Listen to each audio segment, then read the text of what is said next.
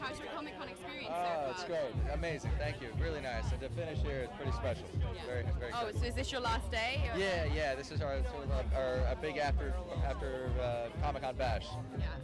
And um, so have you had a chance to walk around the hall or like go to any panels other than? You know, we, we didn't get to do the floor because we were we were doing uh, press all around the convention area, so we were of shuttled from one building to another.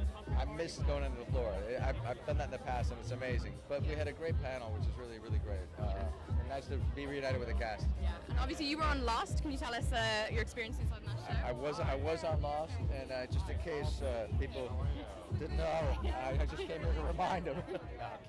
we had a little bit on the panel, and had to whip that shirt out. Um, with this gentleman right here, I got I had the great opportunity of being on Lost now, and, and now we're reunited. He gave me a call, said, "Come and do the show." I was like, twist my arm. So And how do the two compare? I mean, how like Um, was that? I mean, I mean, they're uh, you know, they're very different, obviously, in, uh, in terms of story, but but similar in the sense of that they have thriller aspects. Certainly, this one even more so than Lost, um, and they're and they're very strong character-driven pieces. Both ex- extremely well well conceived characters, really layered characters. So in that respect, they're very similar. yeah, it's very psychological. I mean, like, where would you like to see your character kind of? Just, You know, I uh, I don't know. I'd like to see him just take as many different turns as possible, but I think I'm going to get to find out this year what what his story is, what his history is. So this is nice.